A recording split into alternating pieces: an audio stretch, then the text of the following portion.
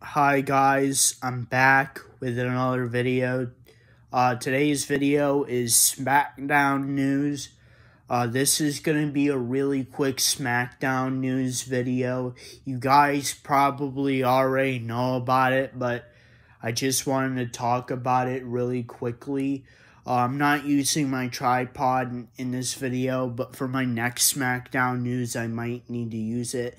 If you don't know, Becky Lynch has returned to Friday Night SmackDown. Um, she has returned as SmackDown Women's Champion.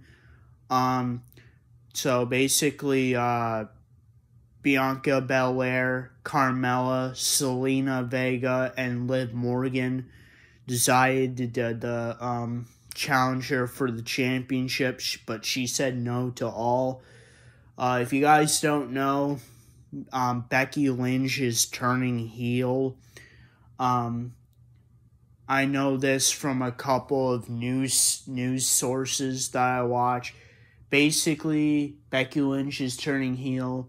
Originally, WWE didn't want Becky Lynch to turn heel, but she, but the deal was Becky Lynch would return as a heel, and if Becky Lynch didn't turn heel, then Becky Lynch would not return to that she would not return to TV, so WWE had to make Becky Lynch heel.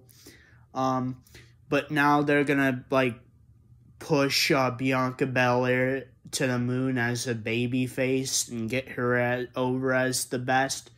So uh, that's my SmackDown news really quick. If you guys like this video, please like, subscribe, and comment. And I'll see you guys next time. Peace, period.